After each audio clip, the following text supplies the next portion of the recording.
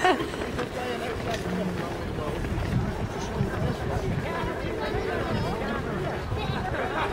ha!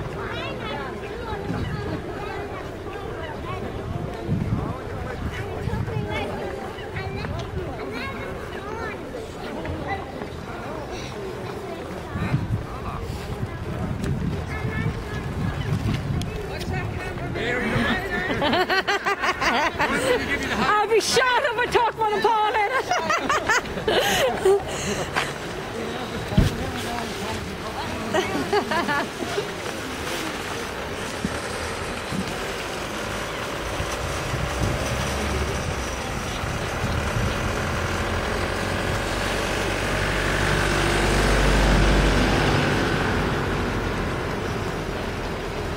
Focus more on the training or the nutrition and the things, but Pat. I think it's a combination of both. Uh, I think the missing element of the commercial gym or the traditional gym is you join and you're just a number and they don't care about you, they don't care about the person, they don't care. Nobody knows your name. It's a bit like going to school and nobody knowing your name. So anything I do, it's a bit like today, it's about the people around you, it's encouraging the people around you and them encouraging you. It really is community, I think, regardless of what you're doing. So my online course, I give them nutrition and training advice and I just encourage people to interact with one another, encourage each other, be there for each other, whether it's in my studio or it's online. That, at the end of the day, it's just about human beings interacting with human beings, whatever you're doing.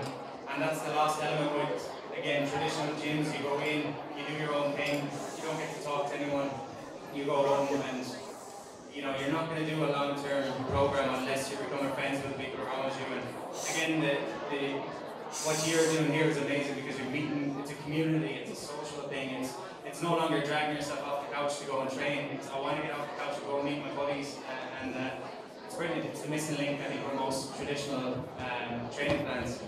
Okay, your book, we have your book here just for short, and you'll be the copies later on. Um, it's the Naked Hello food strip bear, so this is the book that's available here, so um, that's the plug for the book, Pat. Um, I was just reading through the book there as well, and uh, in the book it says that if you got a spare hour, rather than go for a run or do some exercise, you would concentrate on getting the food right. Maybe uh, if I had a spare hour, I'd go for a run always. So maybe talk to us about that, or what, what, what suggestions you would have there. So most of the people I be working with are primarily looking for weight loss. And they become fixated with thinking I have to spend hours in the treadmill or hours on the hours in the gym.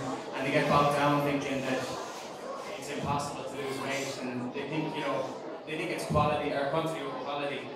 And for me, you know, I can give someone a nutrition plan and they don't have to train. Now, ideally, they'd be training as well, but food is the building blocks. Um, the stuff I've seen on the food side of things, you got people coming off medication when they eat right, you've got people dropping massive weight, you got people improving mental health problems. Um, food is just the building blocks of everything that we are. It's, you know, if you're training regularly, recovery is obviously important. Um, people will sell magic pills and potions and formulas and slimming clubs will sell this, that and the other, but at the end of the day, I think we grew up eating certain foods that make us feel good and make us look good and make us function well, and we just need to get back to basics. Just, just you said we, we grew up with certain foods that make us feel good. Maybe you could uh, elaborate on that one for us. That I know you opened a pizza place, but maybe just for the benefit of us all here, we all like to eat food that makes us feel good. But maybe what are we doing wrong? Um, there's guys there in black shoes and slacks pass me out on the run. They're three times my age, so they're doing something right. Um, it was just going back. You know, there was no gluten, there was no processed foods, there wasn't the same. Um, dairy wasn't processed the same way. So we're just, what's happened is become, people have become fixated with calories. They think if I take in low calories, I'll feel good and I'll lose weight. So the food companies responded and the foods are low calorie now, but they're also low in nutritional quality. So it's not really food anymore, it's products. You know, you got diet drinks that have zero calories, so people think I'll be okay with that. But it's the additives and preservatives and all these things that were never around 100 years ago that's the link, that's what's happened, that's why all the cancers are so prominent now, that's why obesity is prominent now, type 2 diabetes. There was disease 100 years ago, but it was nothing like it is now.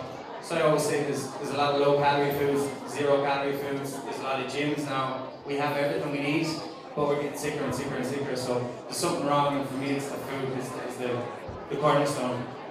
Okay, and then in, in terms of advice uh, in relation to food, in terms of if you're asked to, to recommend a, a diet for a family, or what would your top uh, foods be for a family for cooking for a week, or for someone that's maybe trying to lose weight?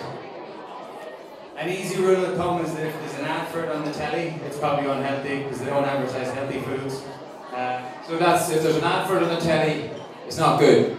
Generally, no. I can't really think of too many that they put on the telly. Um, if it's got a label, it might not be good. So you think of chicken and fish and fruits and vegetables. All these foods they don't have labels because they don't need them. There's only one ingredient. And then you think about the processed foods, it's got hundreds of different ingredients. So again, it might be low in calories, but it's got all these additives, preservative chemicals. You could put it on the floor and the dog wouldn't eat it, but um, you know that's what we've become accustomed to taking in. Um, for the families, just avoid the processed stuff, avoid the packaged stuff. Um, try to focus on proteins, healthy fats, veggies, and just a good mix of foods. Okay, maybe just can, can we just leave the hush there again? Yeah. And maybe if you were um, if you were under pressure with that hour,